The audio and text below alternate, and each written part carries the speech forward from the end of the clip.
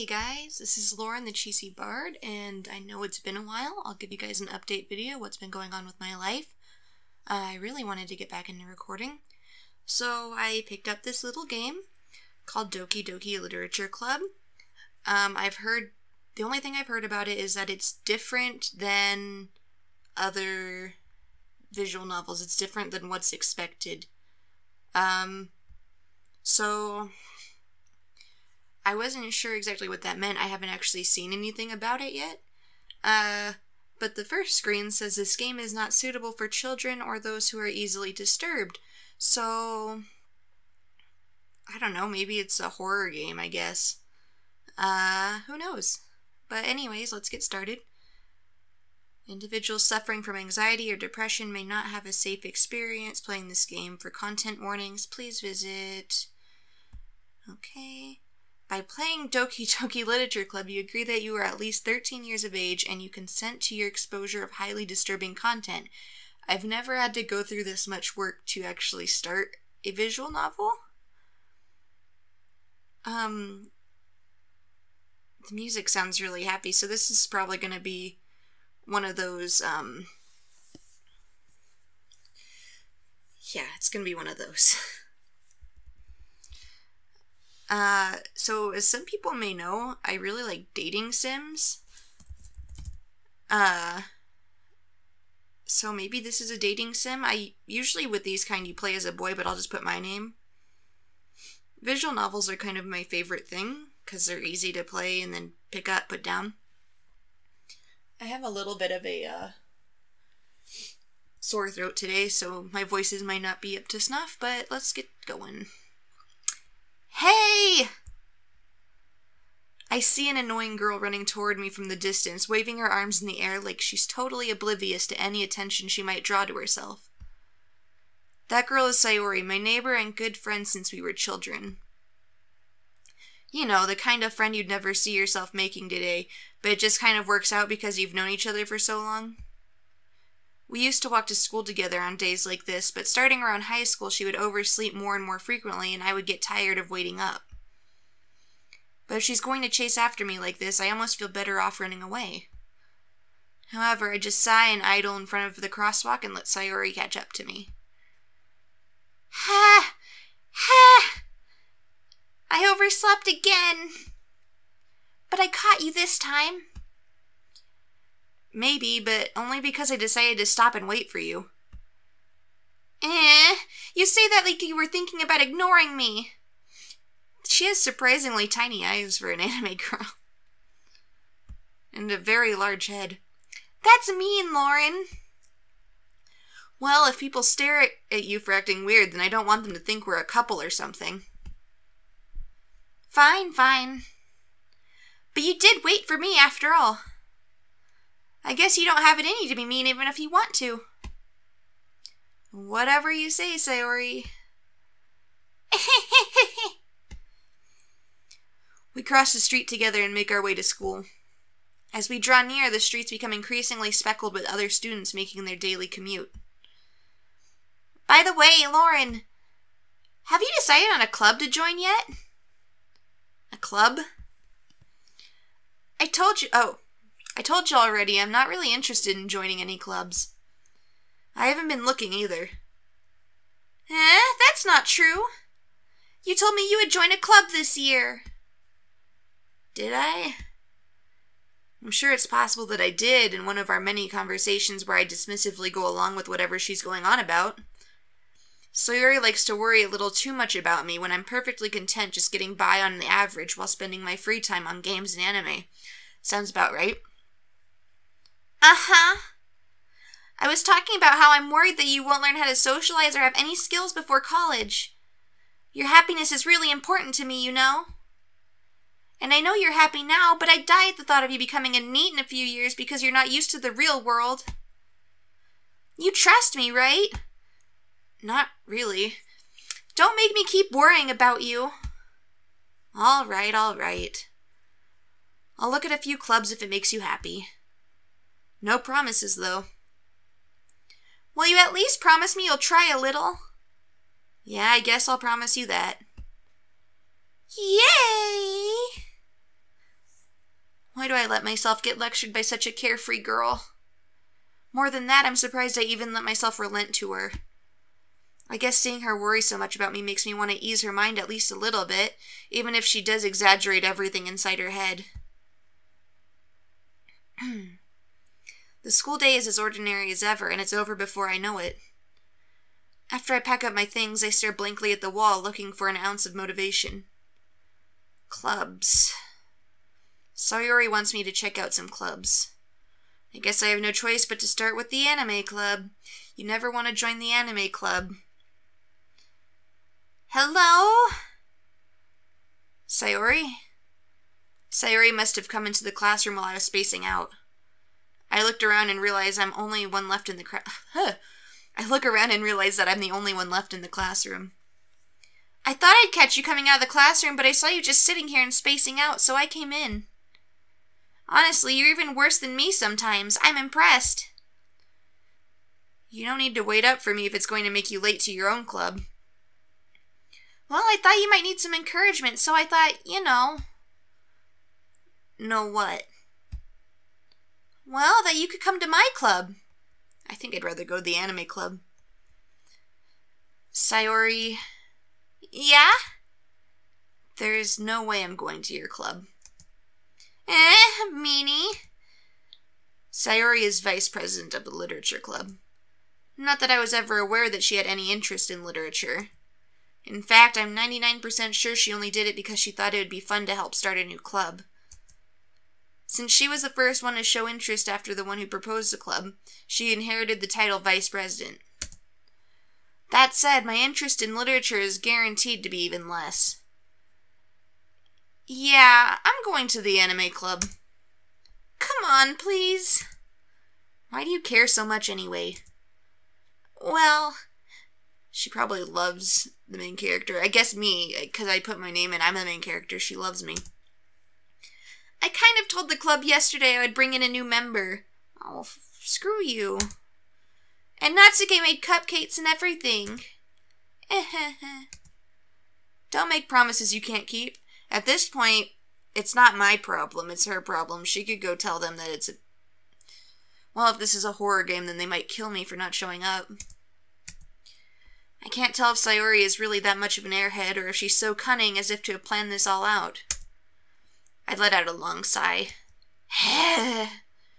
Fine, I'll stop by for a cupcake, okay? Her hands are very tiny, too. Yes, let's go!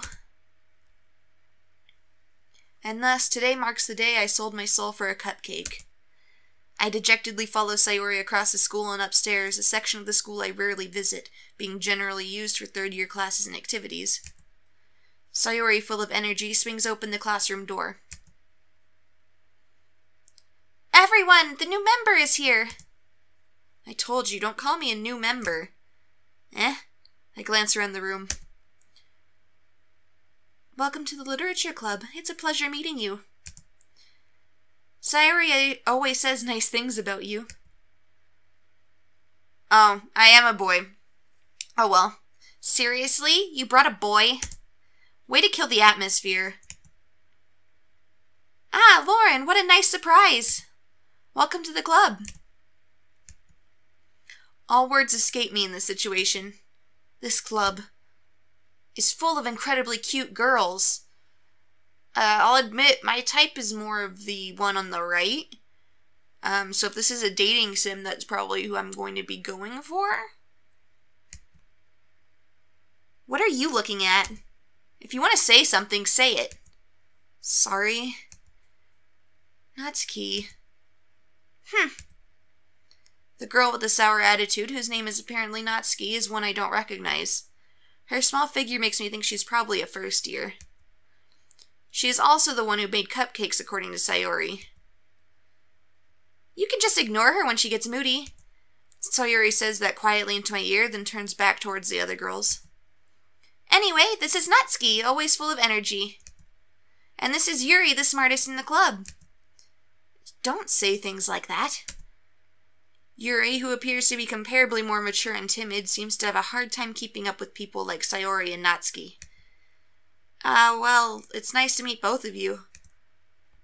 And it sounds like you already know Monika, is that right? Why is her name Monika? Everybody else is Japanese. That's right. It's great to see you again, Lauren. Oh, geez, her back. Monika smiles sweetly. We do know each other. Well, we rarely talked, but we were in the same class last year. Monika was probably the most popular girl in class smart, beautiful, athletic. Basically, completely out of my league. So, having her smile at me so genuinely feels a little. You too, Monika. Uh, I'm Lauren. And me. You too, Monika. Come sit down, Lauren. We made room for you at the table so you could sit next to me or Monika. I'll get the cupcakes. Hey, I made them. I'll get them. Sorry, I got a little too excited. Then how about I make some tea as well? The girls have a few desks arranged to form a table. As Sayori mentioned, it's been widened so that there is one space next to Monika and one space next to Sayori. Natsuki and Yuri walk over to the corner of the room where Natsuki grabs a wrapped tray and Yuri opens a closet. Still feeling awkward, I take a seat next to Sayori. Natsuki proudly marches back to the table, tray in hand. Okay, are you ready? Ta-da! Wow! Natsuki lifts the foil off the tray to reveal a dozen white, fluffy cupcakes decorated to look like little cats. The whiskers are drawn with icing and little pieces of chocolate were used to make the ears. So cute! I had no idea you were so good at baking, Natsuki. well, you know. Just hurry and take one. Sayori grabs one first, then Monika. I follow. Are they made out of people? It's delicious. Sayori talks with her mouth full and has already managed to get icing on her face. I turn the cupcake around in my fingers, looking for the best angle to take a bite. Natsuki is quiet. I can't help but notice her sneaking glances in my direction. Is she waiting for me to take a bite? I finally bite down. The icing is sweet and full of flavor. I wonder if she made it herself. This is really good. Thank you, Natsuki. Why are you thanking me? It's not like I made these for you or anything. Baka. Haven't I heard this somewhere before? Made them for you or anything. Eh, I thought you technically did. Sayori said, Well, maybe. But not for, you know, you, dummy. All right, all right. I gave up on Natsuki's weird logic and dismissed the conversation. Yuri returns to the table carrying a tea set. She carefully places a teacup in front of each of us before setting down the teapot next to the cupcake tray. You keep a whole tea set in this classroom? Don't worry, the teachers gave us permission. After all, doesn't a hot cup of tea help you enjoy a good book? Ah, uh, I guess. Don't let yourself get intimidated. Yuri's just trying to impress you. Well, I am impressed. Eh, that's not. Insulted, Yuri looks away. I meant that, you know. I believe you. Well, tea and reading might not be a pastime for me, but I at least enjoy tea. I'm glad. Yuri faintly smiles to herself in relief. Monika raises an eyebrow, then smiles at me. So, what made you consider the literature club? Uh, well, this girl dragged me here out of guilt. Uh, I was afraid of this question. Something tells me I shouldn't tell Monika that I was practically dragged here by Sayori. Well, I haven't joined any clubs yet, and Sayori seemed really happy here, so. That's okay, don't be embarrassed. We'll make sure you feel right at home, okay? As president of the Literature Club, it's my duty to make the club fun and exciting for everyone. Monika, I'm surprised. How come you decided to start your own club? You could probably be a board member for any of the major clubs. Weren't you a leader of the debate club last year? Uh, well, you know. To be honest, I can't stand all of the politics around the major clubs.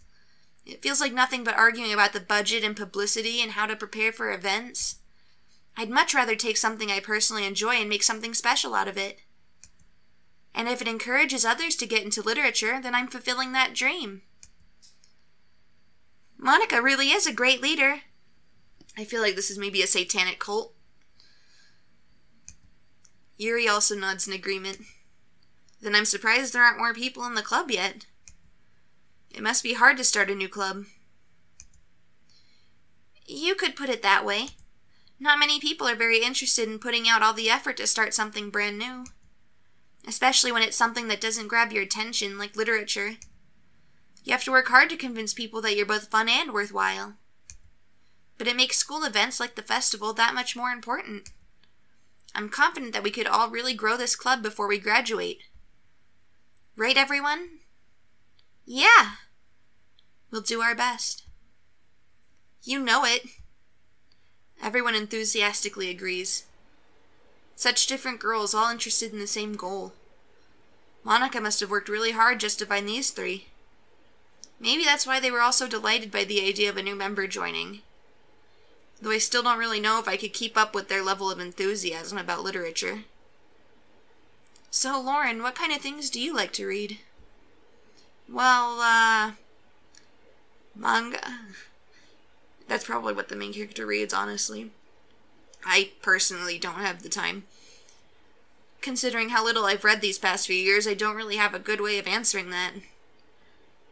Manga, oh, who called it? I mutter quietly to myself, half joking. Natsuki's head suddenly perks up. It looks like she wants to say something, but she keeps quiet. Not much of a reader, I guess. Well, that could change. What am I saying? I spoke without thinking after seeing Yuri's sad smile. anyway, what about you, Yuri? Well, let's see. Yuri traces the rim of her teacup with her finger. My favorites are usually novels that build deep and complex fantasy worlds. The level of creativity and craftsmanship behind them is really amazing to me. And telling a good story in such a foreign world is equally impressive. Yuri goes on, clearly passionate about her reading. She seems so reserved and timid since the moment I walked in, but it's obvious by the way her eyes light up that she finds comfort in the world of books, not people. But you know, I like a lot of things. Stories with deep psychological elements usually immerse me as well. Isn't it amazing how a writer can be so deliberate? Oh, isn't it amazing how a writer can so deliberately take advantage of your own lack of imagination to completely throw you for a loop? Anyway, I've been reading a lot of horror lately. Uh, I read a horror book once. I desperately grasp something I can relate to at the minimal level. At this rate, Yuri might as well be having a conversation with a rock. Really? I wouldn't have expected that, Yuri. For someone as gentle as you? I guess you could say that. But if a story makes me think or takes me to another world, then I really can't put it down. Surreal horror is often very successful at changing the way you look at the world, if only for a brief moment. I've been reading some good surreal horror, actually, uh, that I would definitely recommend. I'll put it in the description. Ugh, I hate horror. Oh, why is that? Well, I just. Natsuki's eyes dart over to me for a split second. Never mind. That's right, you usually like to write about cute things, don't you, Natsuki? What? What gives you that idea? You left a piece of scrap paper behind last club meeting. It looked like you were working on a poem called don't say it out loud. And give that back. Fine, fine. your cupcakes, your poems. Everything you do is just as cute as you are. Sayori slides up behind Natsuki and puts her hands on her shoulders. Gay. Oh, come on. I'm not cute. Natsuki, you write your own poems? Eh, well, I guess sometimes. Why do you care? I think that's impressive. Why don't you share them sometime? N no. Natsuki averts her eyes. You wouldn't like them. Uh, not a very confident writer yet? I understand how Natsuki feels. Sharing that level of writing takes more than just confidence. The truest form of writing is writing to oneself. You must be willing to open up to your readers, exposing your vulnerabilities and showing even the deepest reaches of your heart. Do you have any writing experience too, Yuri? Oh, gosh. I can't read. Do you have writing experience too, Yuri? Maybe if you share some of your work, you can set an example and help Natsuki feel comfortable enough to share hers. I guess it's the same for Yuri. Aw, I wanted to read everyone's poems. We all sit in silence for a moment. Okay, I have an idea, everyone. Natsuki and Yuri look quizzically at Monika. Let's all go home and write a poem of your own, of our own. Then next time we meet, we'll all share them with each other. That way everyone is even. Uh, um. Yeah, let's do it. Plus, now that we have a new member, I think it will help us all get a little more comfortable with each other and strengthen the bond of the club. Isn't that right, Lauren? Monika smiles warmly at me once again. Hold on, there's still one problem. Huh? What's that? Now that we're back the, to the original topic of me joining the club, I bluntly come forth with what's been on my mind the entire time. I never said I would join this club. Sayori may have convinced me to stop by, but I never made any decision. I still have other clubs to look at, and, uh, I lose my train of thought. All four girls stare back at me with dejected eyes. But, I'm sorry, I thought. Huh. Lauren, you all. I'm defenseless against these girls. How am I supposed to make a clear headed decision when it's like this? That is, if writing poems is the price I need to pay in order to spend every day with these beautiful girls. Right. Okay, I've decided then. I'll join the literature club. One by one, the girls' eyes light up. Yes, I'm so happy. Sayori, Sayori wraps her arms around me, jumping up and down. Hey, you really did scare me for a moment. If you really just came for the cupcakes, I would be super pissed. Then that makes it official. Welcome to the Literature Club. Uh, thanks, I guess. Okay, everyone. I think with that, we can officially end today's meeting on a good note. Everyone remember tonight's assignment. Write a poem to bring to the next meeting so we all can share. Monika looks over at me once more. Lauren, I look forward to seeing how you express yourself. yeah. Can I really uh, impress the class star Monika with my mediocre writing skills? I already feel the anxiety welling up inside me. Meanwhile, the girls continue to chit chat as Yuri and Natsuki clean up their food. Hey, Lauren, since we're already here, do you want to walk home together? That's right. Sayori and I never walk home together anymore because she always stayed after school for clubs. Sure, might as well. Yay! With that, the two of us depart the clubroom and make our way home. The whole way, my mind wanders back and forth between the four girls Sayori, Natsuki, Yuri, and of course, Monika. Will I really be happy spending every day after school in a literature club with four hot women? I mean, what? Perhaps I'll have the chance to grow closer to one of these girls, but not all of them, because that would be cheating. All right. I'll just need to make the most of my circumstances, and I'm sure good fortune will find me. And I guess that starts with writing a poem tonight.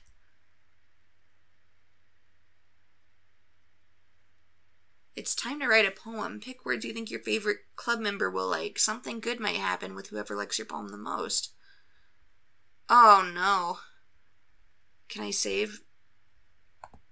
Just in case. Ah, jeez.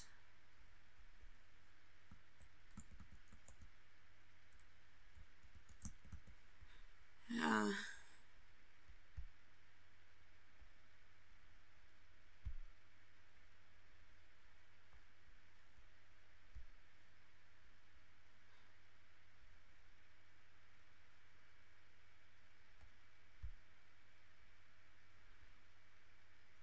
Uh, do these make any sense at all?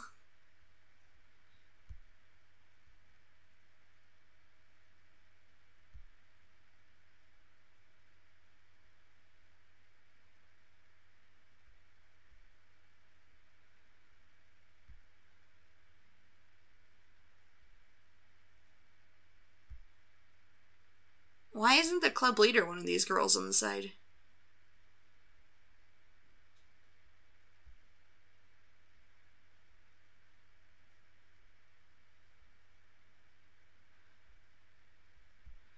Making the most edgy poem I can think of. Um, is that a hint for who likes it the most? Yeah, I guess it is. Okay. Good, because I wanted to date her anyways. Oh, no. Okay, oh well.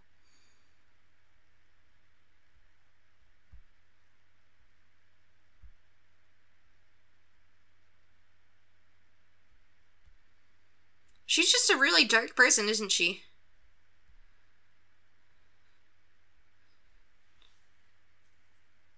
And I will stop this episode here for now and uh, pick it up next time at the next club meeting.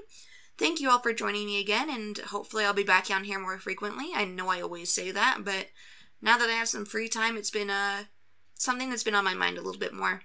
But yeah, glad to be back. I'll see you next time.